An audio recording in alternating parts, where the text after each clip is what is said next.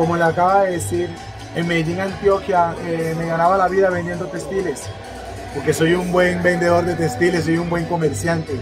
Y la misma necesidad de la vida me obligó a eso, porque en algún momento de mi vida tuve una quiebra financiera, la cual me llevó a alejarme de todo lo que yo hacía actualmente. La verdadera alquimia